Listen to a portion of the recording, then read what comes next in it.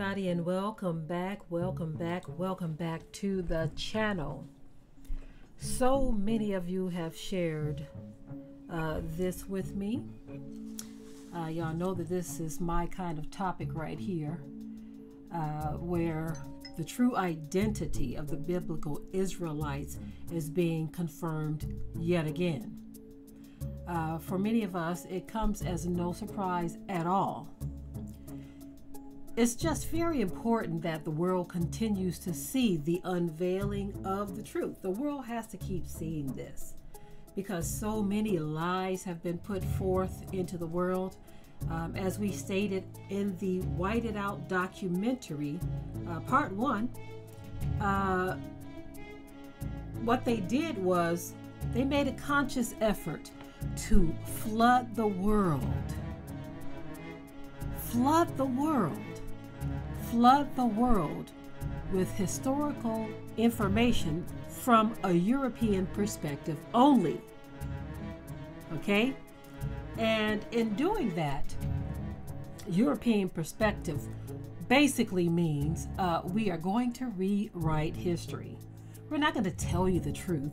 What we uncovered, we, we're going to cover it up. we, we don't want the world uh, to see what we saw. Hmm? So there's been this massive effort to uncover what has been covered over. So, thank you to those of you who shared this with me. I believe our son Elia is one of the first to share this with us. Um, it's actually been some time since he shared it with us. Uh, we've just seen uh, so many people sharing it that I decided to go ahead and uh, chime in on this. Okay. Um, my apologies if my mic sounds low, but I have it. Okay, I just turned it up. My apologies for that. I hope you can hear me better now. Um, I'm going to dive right into this topic, beloveds. Um, many of you have already seen these images. They've, this is not the first time they've been revealed, but um, what's going on is I think there's a lot of excitement over the fact that you have um, a world leader, a major world leader, who is acknowledging the truth. These Western nations, uh, they will take the truth to the grave if they have to. But Vladimir Putin is saying, nah, uh, uh, your secret is out. Your secret is out. So before I dive into this, of course, uh, many of you are probably already uh, familiar with the scripture that talks about uh, how uh, the heathen was going to do some changing. Okay? And so I want to just share that with you real quick. Uh, that is in the book of Maccabees, First Maccabees 3 and 8. Okay? Let me just share that with you real quick so you can understand why images um, are not being shown the way they're supposed to be shown because folk don't want the truth out. First Maccabees chapter 3 verse 48 says and laid open the book of the law wherein the heathen had sought to paint the likeness of their images they wanted to paint the likeness of their images. They didn't want you to see the likeness of the real images. Okay? They wanted to change things a bit. Hmm? That is what happened. They wanted to make things look like them. They don't want you to know the truth. Because if you know the truth, then it makes them look bad. It may it, it reveals who they are because they told us the first people on the planet look like them. Uh, they told us that everybody after looked like them, and that we are some chance happening uh, that stumbled out of the jungles, some monkeys that they civilized, right? I mean, they, they put all kinds of things out there, right? Anyway, the truth is just coming forward so fast like a wildfire that can not and will not be contained. So, anyway, I want to show you first. Um, this is some type of translation of uh, something that people are saying Putin said. Uh, despite that, the news is out, and I don't see any major outlets covering this at all. Not surprised. But um, anyway, take a look and a listen at this. And of course, you know, I'll be right back. Ladies and gentlemen, people of Russia, today we stand on the precipice of a monumental revelation, a moment that redefines not only our understanding of history, but also the path forward for our great nation. In an extraordinary discovery hidden beneath centuries of lore and legend, we have opened what can only be described as the oldest vault known to mankind. What we found within its ancient confines challenges the very fabric of our beliefs and heralds a new dawn for our country. Within this vault, we discovered figures of bi biblical proportions, characters that many have read about, debated, and revered these figures, preserved against the sands of time, reveal a truth that is as profound as it is transformative. They are all black.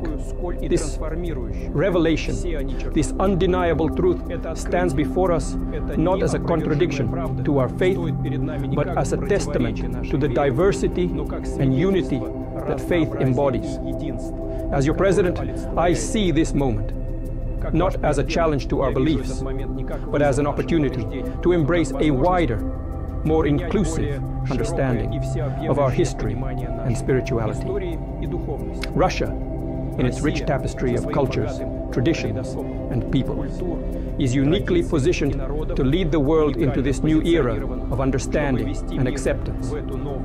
From this day forward, let us proclaim our nation under the guidance of Black Jesus a figure who represents not just the cornerstone of Christian faith, but also a symbol of the universal values of love, compassion, and brotherhood.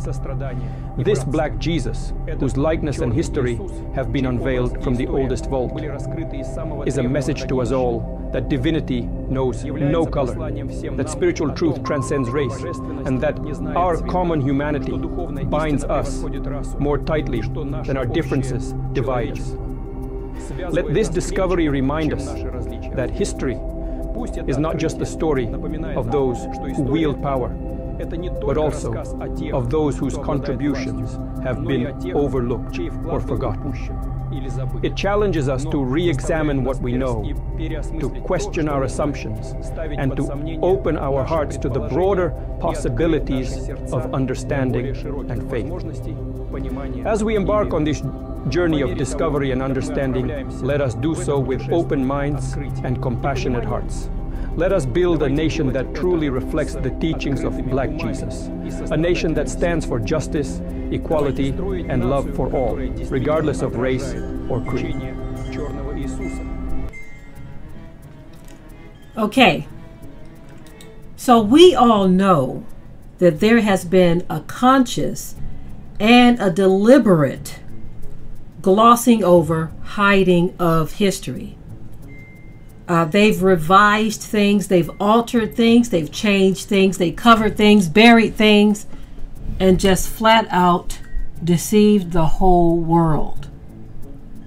And then, if you even hint at the truth, if you bring even one iota of the truth forward, what you get is a bunch of gaslighting and a bunch of people saying, What difference does it make? Now, if it didn't make a difference, why on earth did you take the time to repaint images and lighten the images? Now, there was narratives put out that uh, some of these images darkened over time, even with these Russian images.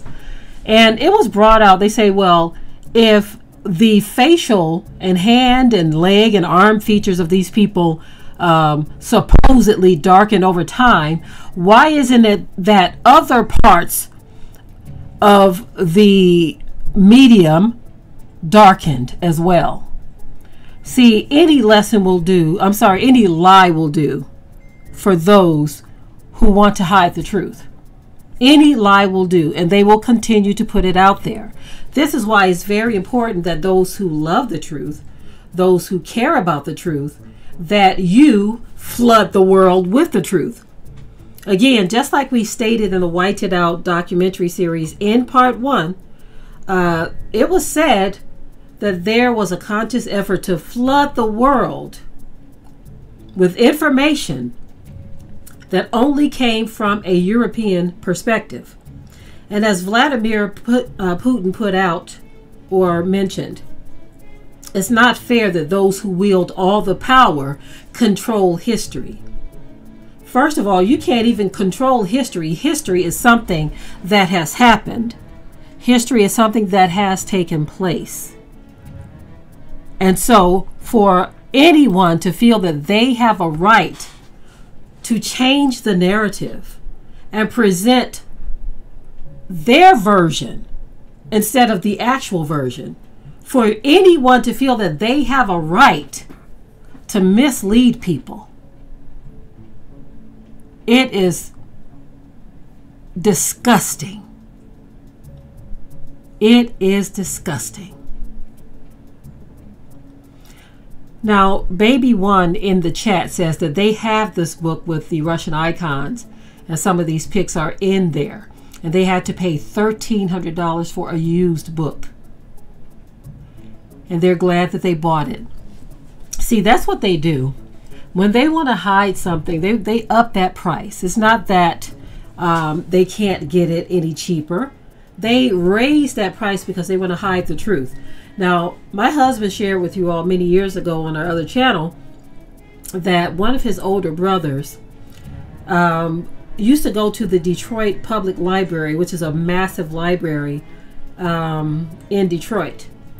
And uh, he would try to uh, check out certain books, uh, the Book of Enoch and the certain other books. And the clerks would always try to say, oh, no, it's not in. That book's not in. Nope, not in. It's not in.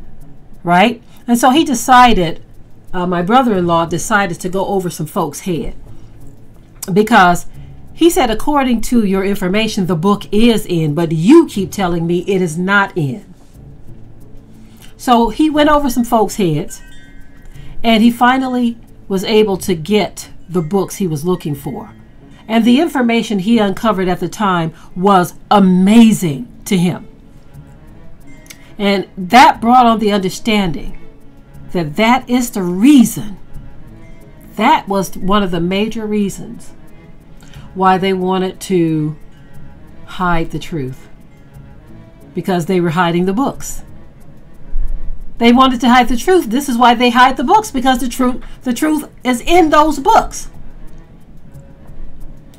There was an article that I was reading earlier, and I may want to talk about it um, at a later time, but even in this article that I was reading earlier, it says, Why is America afraid of black history? See, get this America is not only afraid of black history, America, but the world is afraid of black history. Not just America. America is just willing to make laws and do i mean they're doing things that i haven't seen other countries do even though they are all confederate one with another to hide the truth but the most high i believe is moving on people i believe that uh, he is moving on those who are coming forward with the truth i believe that he is moving on these people to reveal the truth to speak the truth it goes far beyond Vladimir Putin. There have been others before him as well who have brought forth the truth. Hmm? Very, very soon, we are going to see some things that will blow the world's mind. I've often said that world history is black history. But, as I stated in an earlier video, the revealing of the truth is also the revealing of the man of sin. Someone asked me um, in the comment section, section uh, who is the man of sin? I think with the context of what I'm saying, you should be able to determine um, the man of sin is definitely, it's not just a single man. See, some believe it's a single man. I don't. The single man is antichrist in nature. I'm sorry, the I'm sorry, the man of sin is antichrist in nature. And antichrist doesn't just have to mean a person who is against the Messiah, but it can also mean a person who is against the truth because Yahusha is the way, the truth, and the life. No man comes unto the Father but by him, right? So even if you reject the truth, you are antichrist. You could be sitting all up in your Christian, Christian church and still be antichrist. Let me say that again for the people in the back. You can be sitting all up in your Christian church and still be antichrist. The antichrist is the man of sin. Those who don't have a love for the truth is the man of sin. Um, somebody, all of y'all, take a look at what critical thinker is saying in the chat. I think I've seen you before, critical thinker, who came right and said what I had on my mind. See, some things I don't like to speak out openly because, you know, YouTube and their algorithms and certain things, it's a shame that you have to censor because folk will say that you are H A T E F U L if you say certain things. But look at what Critical Thinker said there. The man of sin, the Antichrist. I might do a whole other video on the fact that you can be a Christian and still be Antichrist. Thank you, Alexander, for the super chat. I appreciate it. You can be a Christian and still be anti-Christ. Ain't that something? That was a curveball that I wanted to just throw out there to let you all know that anyone who rejects the truth, because Yahusha, the one who the world calls Jesus, he is the truth. And so if you reject the truth, by default, you are anti-Christ. You are antichrist. Hmm. Wow. So, that being said, the man of sin is being revealed at the same time the truth is being revealed. Hmm? One moment here.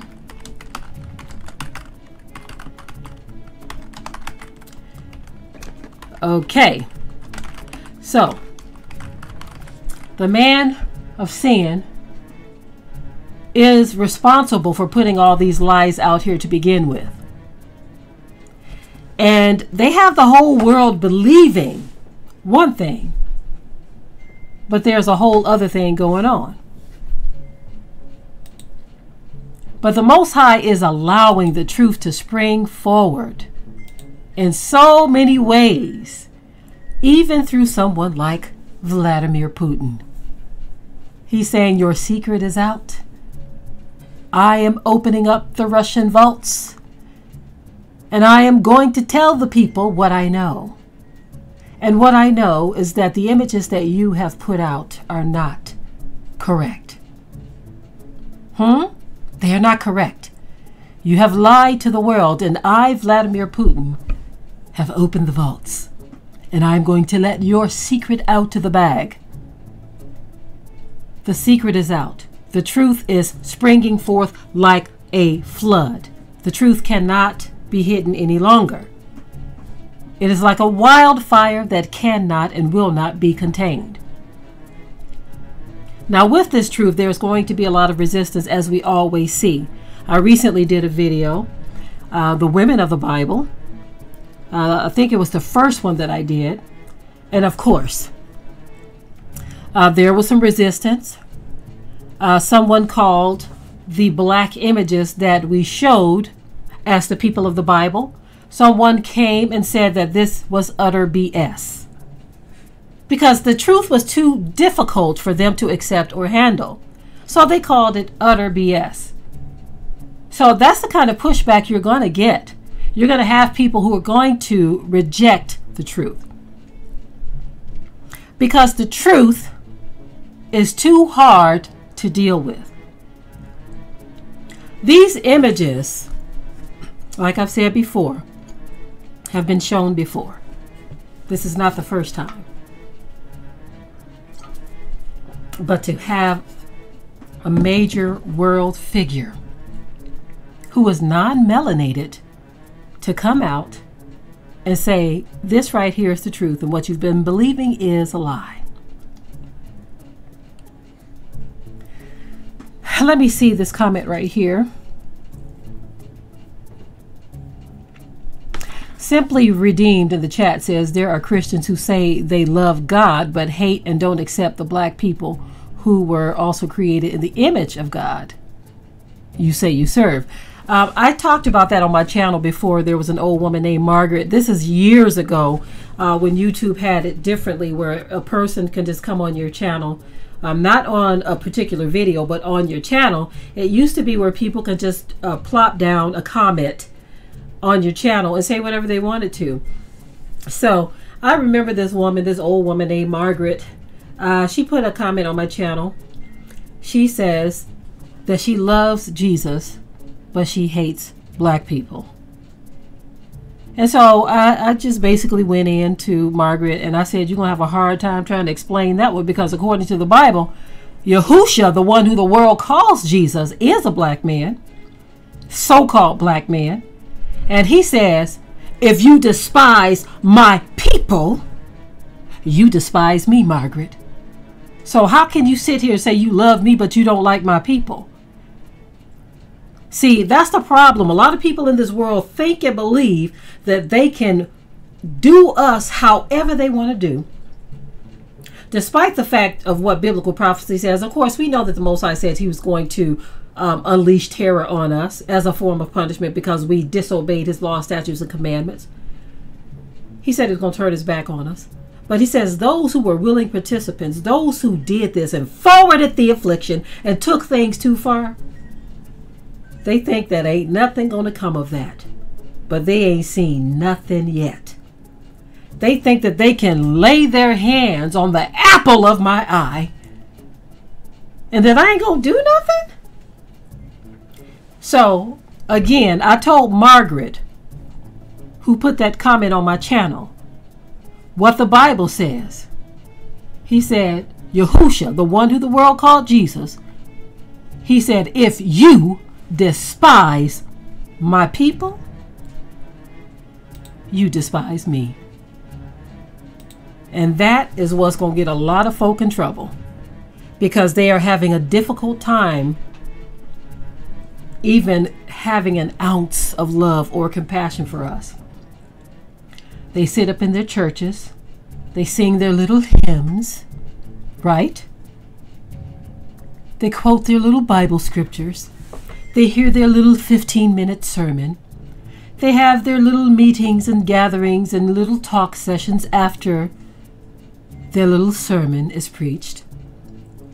They have a word with the other parishioners for just a moment, and then they return home and they eat their jelly beans. And they think that that is all the Most High requires for them to enter into the kingdom of heaven. They can sit up there with all that H A T E for the children of Yah and believe within their hearts that He is going to overlook all of that. It really seems like the world believes that the Most High is stupid. You got to be out of your mind if you think that your only requirement is that you take your behind to some church on Sunday and spend 30 minutes singing and listening listening to a little sermon once a week for some only twice a year and you honestly believe that that's going to pay the price for all of the wickedness that have happened in history. Mm, mm, mm you got to be out of your mind. I guess there's a lot of people out of their minds then because that's what they think. uh, Mr. Lawrence in the chat says Christianity is insanity. That's what it sounds like to me when you when you consider that people think and believe that they can do whatever they want. All this wickedness, all this rotten, dirty, low down stuff, and that the God of heaven, as the world calls him, is so stupid that he's going to allow you to just walk into the into the pearly gates, traipse around on the streets of gold not having repented or changed anything about your life, but eternal life is waiting for you on the other side. Mm, mm, mm. Well, just like the Most High said, He said He was going to send a strong delusion, didn't He? Didn't He say He was going to send it? Christianity is a part of that strong delusion. Most High said He sent it. Why did He send it? He said, Because folk have not a love for the truth but they have pleasure in unrighteousness. They know it's unrighteous to treat our people the way that they treat us and that they have treated us. They know it's unrighteous, but they have pleasure in it. Do y'all hear what I'm saying? And of course, I know that that could be, but when you have a group of people who literally think that they're going to walk around the streets of gold having pleasure in unrighteousness, forwarding the affliction on the house of Yasharel, doing the things that they did to us on those plantations, how they treated the men, women, and children. You honestly think that the only thing that is required of you, O daughter of Babylon, is that you eat your cheese sandwich after Sunday service. Mm, mm, mm. I thank the Most High for the truth that is being revealed. I thank Him for all that is happening. Bible says, in everything give thanks. It is my hope, however, that with the revealing of all of this truth, even the revealing of the man of sin, it is my hope and my desire that our people would repent. Hmm?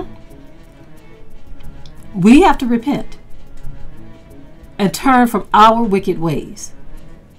Because we know that the Bible says, if my people which are called by my name would humble themselves and pray and seek the Most High's face, then will He hear from heaven, forgive their sin, and heal their land. So I, I definitely want our people to repent. But at the same time, guess what we have to do? We got to put that truth out there as often as we can. Hmm? As often as we can. I don't care who's bringing it. You can have a jackass bringing the truth. I will hand him the mic. Do you hear what I'm saying? I will hand him the mic. Because I feel like this revelation, this revealing is something so major, so major that is definitely turning some heads. And of course, is causing some folk to be very uncomfortable. Well, I think it's time that some folk get uncomfortable. I think it's time.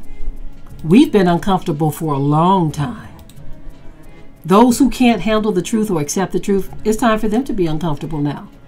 Now, if you are a person who can accept and handle the truth, then the truth should not make you uncomfortable. Hmm? But if you can't handle the truth, if you just absolutely have to have a God, mm, mm, mm. you absolutely have to have a God that looks like you, then that is your problem. Mm, mm, mm. And that's what's going on. Because I know for many of us, so called black people, I know many of us, guess what? We didn't care what color he was. We just didn't. Hmm? But guess what? Many of these other people, they don't want it no other way. If they can't have a God looking like them, they don't want it any other way. Now, I want to acknowledge something that I saw, and I mentioned something about this early on. about the uh, the the video that was uh, shared in the beginning. Now, a lot of information has come out about Vladimir Putin opening up the vaults. That speech that someone shared with me, I just wanted to share that because of the words. Now, I can tell that that was an old video, perhaps, but the words still rang true, so I wanted to share it anyway. A number of people shared that with me, a number of people shared the images with me. The images have been shared over the years already by a number of different people, right? But I wanted to share it anyway because it does coincide with the facts of the images that have been covered over. These images have been hidden and they've been explained away. I even found an article or saw an article where they were trying, someone was trying to explain why the images were so dark. And it kind of reminds me of a website that I saw many years ago. We talked about it in White It Out Part 1. Hmm? In White It Out Part 1,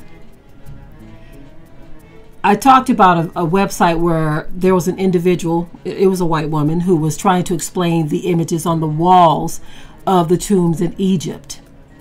And her explanation as to why the images of the ancient Egyptians were black was that they turned black over time.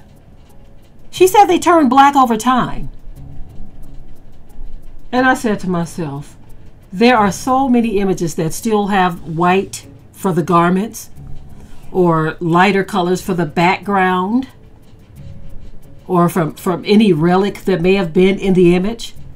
So you're telling me that only the facial structure in the hands and all of that turned dark over time, but all of that other white or light stuff stayed white or light? So it showed me that there that was a shameful effort to try to explain away the truth. The truth is what it is, and folk don't like it. It's too difficult for them to accept. So they so they will simply say that the images of ancient Egyptians darkened over time. And some of those people are I'm going to say, like my mom used to say, blacker than an ace of spade. But you want to convince the world that they were actually so called white people? Huh? And the images just turned that, that dark over time? Oh my goodness. It can get very exhausting trying to reveal the truth, but it is a worthwhile effort to do so. Because as I said earlier in this broadcast, and as we stated in White It Out Part 1, the documentary series, that the heathen decided to flood the world with all of these lies. They flooded the whole world, and now the truth is being revealed more and more more and more. You literally have people who live in regions of the world, such as Egypt, who will sit there and look at the images on the wall and they won't believe the evidence of their own eyes. They won't believe it. They refuse to believe it. You have an image of King Tut, clearly a black child, an Egyptian a descendant of Mitzrayim, a descendant of Ham.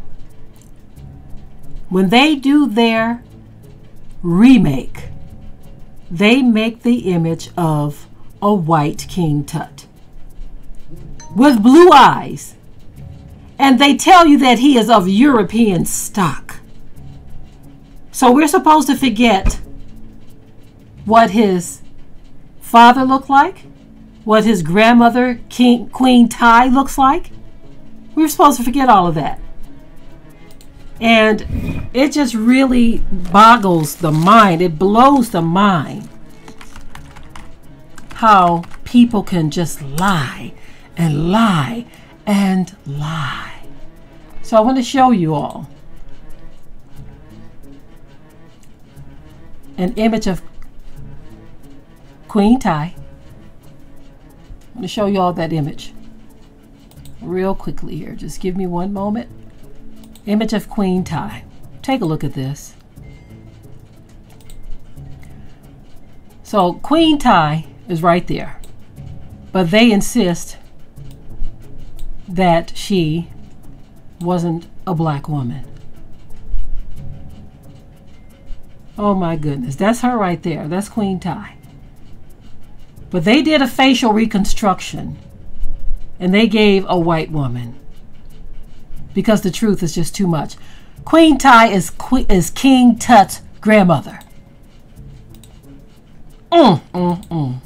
Do y'all see what I'm saying? The truth, they just can't deal with it. And because they can't deal with the truth, they present lies. They flood the world with lies.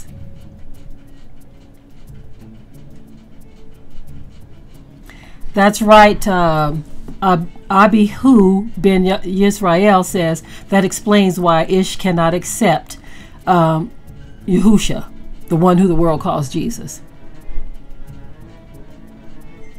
That's right. Kenya in the chat says they say the queen Tiye was tan. Oh my goodness. Sometimes the lies are laughable. It is it's ridiculous. But it's not funny. Laughable but not funny. Let me tell you all something. The revealing of truth. Let me go go in another direction now. I spoke on this earlier. But the revealing of truth, not just the identity of the people of the Bible, of the first people on the planet, Adam and Eve, couldn't have been anything other than so called black people. The first people on earth had to be. Even scientists says that. But you have Christians who refuse to believe the truth. But with the revealing of truth, the man of sin is also being revealed. Because the man of sin is someone who does not accept the truth. The truth is too difficult for them. It's a hard pill to swallow. And so, therefore, they reject the truth. They reject the knowledge of the truth. And part, thank you, uh, Celest, Celestia Deans, says Candyland Christianity. That's exactly what it is. Christianity is Candyland. They don't want nothing. Uh, Derek in the chat says the bubble of their lies is bursting. That's what's happening. The truth has to come out. It is time. Okay? It's time for the truth to be revealed. And so I'm so grateful to the Most High that the truth is happening. It is springing forth. Okay? These images. Let me bring that back up for, for you guys, those of you who didn't see some of these images. But these images represent something that is more realistic and true. And as I pointed out in the book of Maccabees, part of their deception was to paint the likeness of their images, because the likeness of our images was too much for them to bear.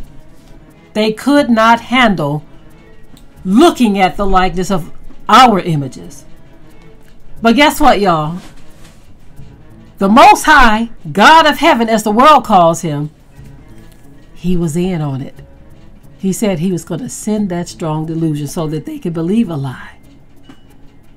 If you really think about that, he says, I'm going to let you wallow in your own delusion. If this is what you want, he said, I'm going to make it strong for you. Since you don't want the truth, I'm going to send a strong one for you. And you're going to be captivated by your own lies. I'm going to help you along the way. I'm going to make it strong. A strong delusion so you can believe a lie. Because you had not a love for the truth, but pleasure in unrighteousness. It is very important to know the identity of the people of the Most High. It's very important. People can say all day long that it doesn't matter, but yes, it does. It does matter. The truth does matter. And I thank the Most High for this massive reveal. This is yet another confirmation. This is not the confirmation, but another, because so many have been putting this truth out for years and years and years and years, and now it is springing forth like a flood. Todayah. I'm happy about the truth. Thank you all for your time. Thank you for joining me. Until the next live or the next video, I want you all to stay prayed up. Let's pray that this truth keeps on coming out like a flood. Hallelujah! Why are we so happy about this? Because so many lies have been taught, and you literally have people sitting back trying to tell us that it don't matter. You telling us it don't matter while you are flooding the world with your packs and packs and stacks and stacks and mountains of lies.